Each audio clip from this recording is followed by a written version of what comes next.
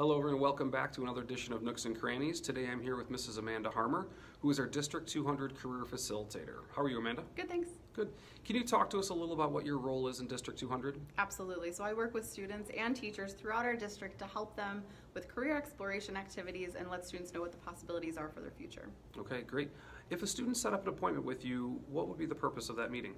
So a lot of times I meet with students to talk about college applications and how to fill those out, the FAFSA so they can get some financial aid as well as scholarships. Sounds good.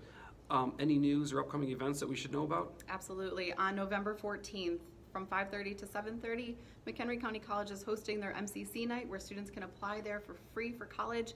Um, if they're seniors or if they are early grads, it's a good chance for them to go and get that application filled out.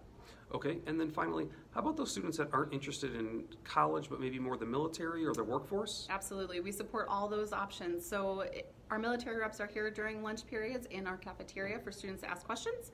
And um, we've got course selection coming up soon. So if you're looking to go into a career uh, right away, we've got great classes in building trades, manufacturing, nursing, all kinds of things that will help them um, get some skills ready for the workplace. Okay, awesome. Well, thanks for all that you do for our students here at Woodstock High School. And until our next edition, go blue.